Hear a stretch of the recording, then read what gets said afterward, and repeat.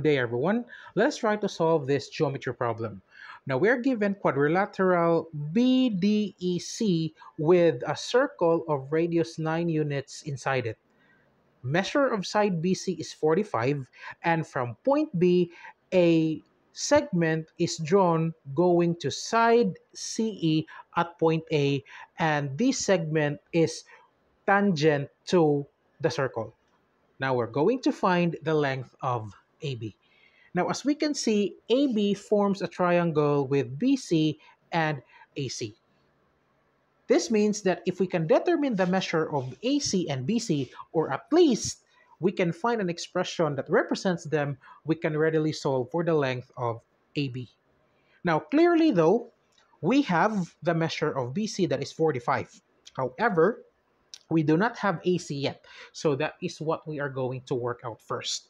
Now let us draw a radius going to the point of tangency at BC. We have that one. And let's try to name this point of tangency as point M. We do the same thing with respect to AC and call the point of tangency as point N.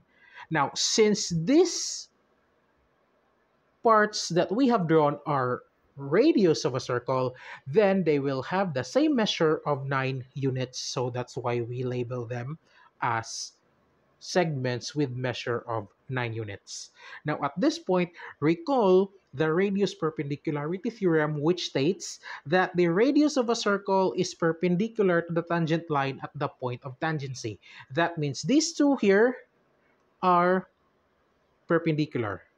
And since they are perpendicular, then the figure here, this one, is a square and the sides, therefore, are equal.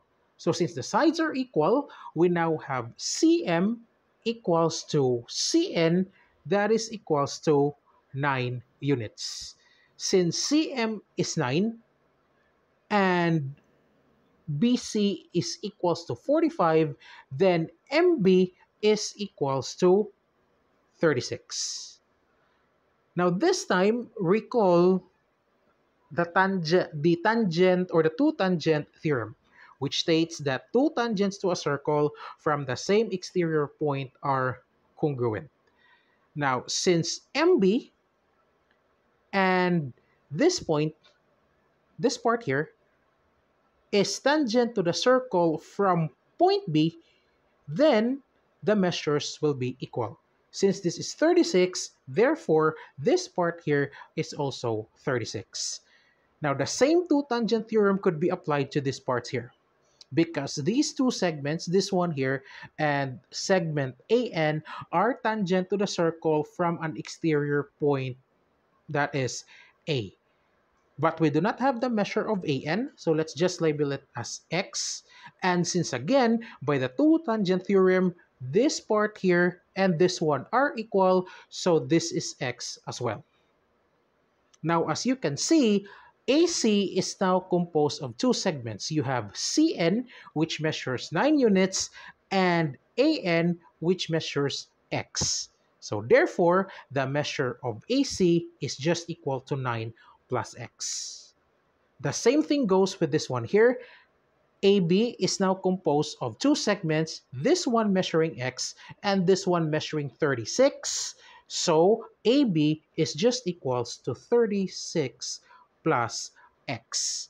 Now, since we have now the expressions representing the measures of the sides of triangle BCA, we can now consider the triangle. As you can see, because of this label here which is given, we can say that this triangle is a right triangle. So the sides have a relationship that can be established using the Pythagorean theorem. So by using the Pythagorean theorem, the relationship among the sides will be 45 squared for this one is equals to 9 plus x squared equals 36 plus x squared. Simplify, you have 2025 plus 81 plus 18x plus x squared is equals to x squared plus 72x plus 1296. x squared can be eliminated. So what is left will be 18x minus 72x is equals to 1296 then we transpose 2025 to the right side that's why that becomes negative 2025 same thing with the 81 that becomes minus 81 Simplifying, we have negative 54x is equals to negative 810. Dividing both sides by negative 54, x is equals to 15. But remember, AB is equals to 36 plus x. So we and we have x is equals to 15. We replace x by 15. Therefore, AB is equals to 51. This is our answer and the problem is solved. So that's it for this video. Please don't forget to like and subscribe to our channel for more challenging geometry problems. Thank you so much. Enjoy learning.